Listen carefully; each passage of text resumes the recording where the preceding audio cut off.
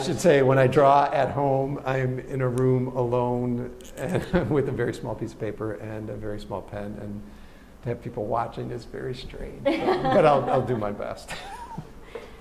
Did your kids ever hang out in your in your studio? Yes, when they when my kids were little, they would come in all the time, and um, I loved it. And there would always be plenty of paper for them to work with.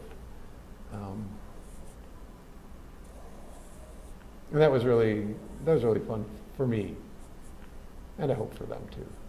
I'm sure. Did they uh, ever offer suggestions? Oh, sure.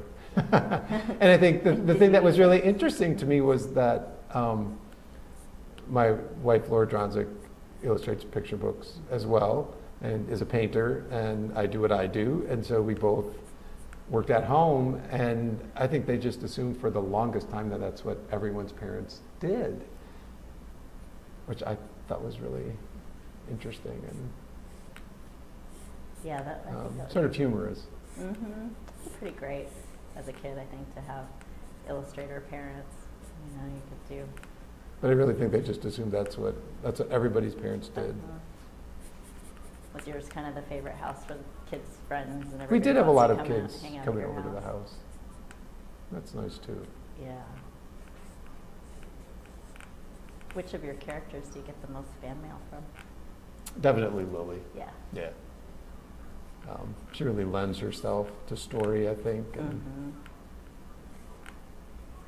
and it's interesting to me, a librarian once said that um, in all her years of being a librarian, that there were often boys who wouldn't relate to girl characters, but that Lilly seemed to not um, be a problem in that regard. Mhm. That boys liked her just as much as girls did. And that's nice. Yeah, that is. It's pretty special when you can reach the boys too Yeah. little girl. No, there's Lilly. Would be better at home, but. Pretty fabulous for us. Thank you so much. Oh, you're welcome. It's a pleasure to meet you. Nice, nice to be here.